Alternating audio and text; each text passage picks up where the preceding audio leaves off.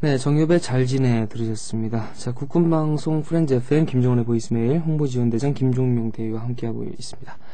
자, 7589님. 어, 저보고 긴장하셨다고, 네. 긴장한 게 아니라, 네.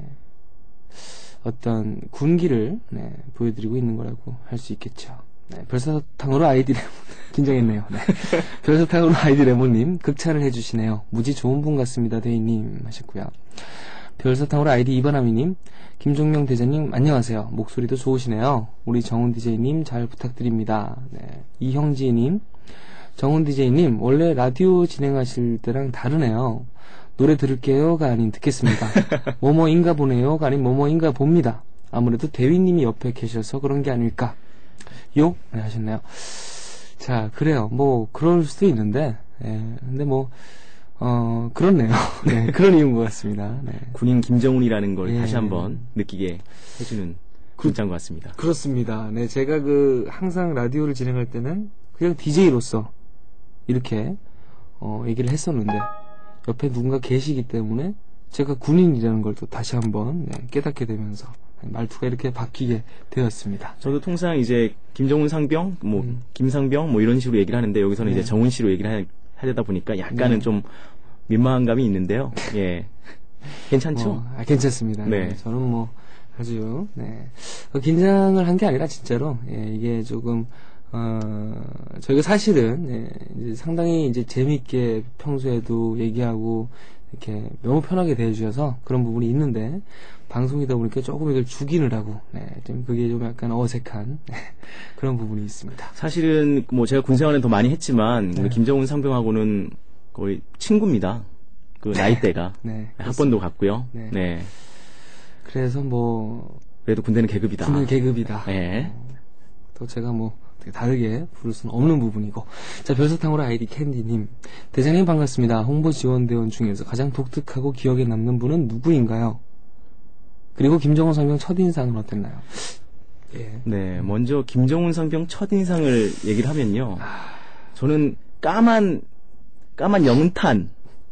어, 내가 알던 김정훈이라는 가수가 이렇게 까맸나 이런 생각이 드는데요. 지금 많이 하얘진 것 같아요. 아, 예, 그렇습니다. 너무 그 야전에서 네. 고생을 좀 많이 했다 그러더라고요, 여름에. 그만큼 뭐 열심히 군 생활을 하는 것이 아닌가. 또뭐 그런 생각을 하고 있는데.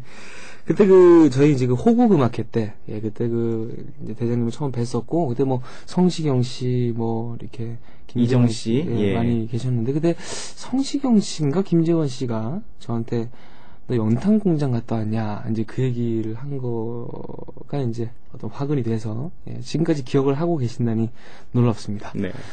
자, 그리고 가장 독특하고 기억에 남는 분. 독특한 분은 뭐, 다뭐 독특하죠. 예. 독특한데 다들 각인, 각색, 네. 지금 얼마 전에 전역한 양동근 병장이 아, 예, 좀 기억에 남고요. 네. 예. 정말 그 한결 같았어요. 군인으로서. 음. 예. 뭐 음. 가식적인 면도 없었고요. 음. 예. 그리고 좀 자기만의 세계가 좀 있긴 해요. 예. 우리 양동근 병장이. 독실한 크리스찬, 크리스찬이시라서 거기다 좀 요즘은 약간 그 어떤 예언이라든지 좀 그런 쪽으로 자신이 좀 뭔가 계시를 받았다고 그분이 오셨다 그러더라고요. 예, 하셔가지고 예. 아무튼 뭐 그렇게 하시면서 양동근 병장하고 제가 네. 병장이 아니죠. 이제 양동근 씨죠. 예, 양동근 씨 네. 엊그제 이렇게 통화를 했었는데요. 네. 지금 이제 미국에 계시다 그러더라고요. 아 예, 샌프란시스코에 벌써 계시다고. 네. 예. 아 비행기는 빠르군요. 네. 국제전화라고 빨리 끊으라고 음. 얘기를 하시는데요. 예. 양동근 씨, 네. 뭐 별로 부럽진 않습니다. 저도 뭐 이제 상병이고. 네.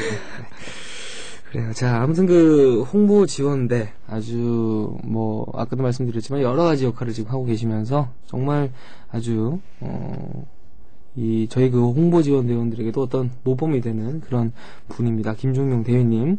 홍보 지원 대원들하고 근데 생활하시다 보면은 조금 이런 점은 좀 고쳤으면 좋겠다. 그래도 이렇게 이 좋은 얘기는 지금까지 많이 이제 했었고 뭔가 마지막으로 바라는 점이라든지 예, 이런 점이 있다면 한번 말씀해 주시죠.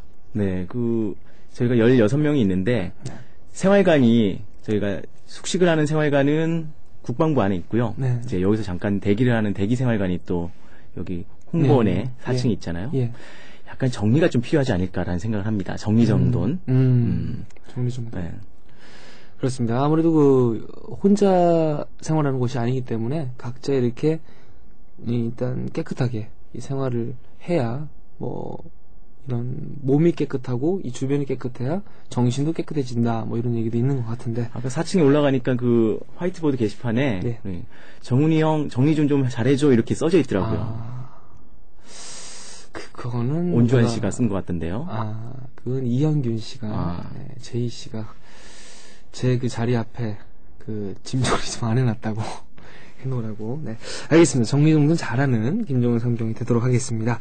자, 오늘 그, 뭐 이렇게 길지 않은 시간이었지만, 아무튼 보이스메일 함께 하셨는데, 앞으로도 이렇게 자주 나와 주셔서, 예, 다음엔 좀 더 제가 재미있게 할 수 있을 것 같으니까, 네. 그때 오셔가지고 또 한 번, 그때는 정말 엄청 우리 이야기 보따리를 더 많이 풀어서 재밌게 네, 한번 했으면 좋겠다. 여자 게스트 분들이 오셨을 때 오실 좀, 때좀 불러주세요. 네, 항상 사실은 불평을 토로하셨습니다. 예전에 그 여자 게스트 분들 그룹 분들 걸 그룹 분들 오셨을 때 아, 왜난 몰랐냐 이렇게 얘기를 하셔가지고 상당히 죄송했던 그런 마음이 다음번에 꼭 같이 네, 같은 초대석으로 모시도록 하겠습니다. 자 끝으로 마지막으로 앞으로 그 계획과 또 앞으로 또 홍보지원 대장으로서의 어떤 각오 한마디 부탁드리겠습니다. 네, 저는 좀 더 빠르고 정확한 뉴스로 여러분들 계속 찾아뵐 거고요. 우리 홍보지원대원들 무사히 팬 여러분 곁에 다시 돌아갈 수 있게끔 네. 저는 열심히 노력하겠습니다. 알겠습니다. 자, 오늘 나오셔서 바쁜 가운데 나오셔서 정말 감사드립니다.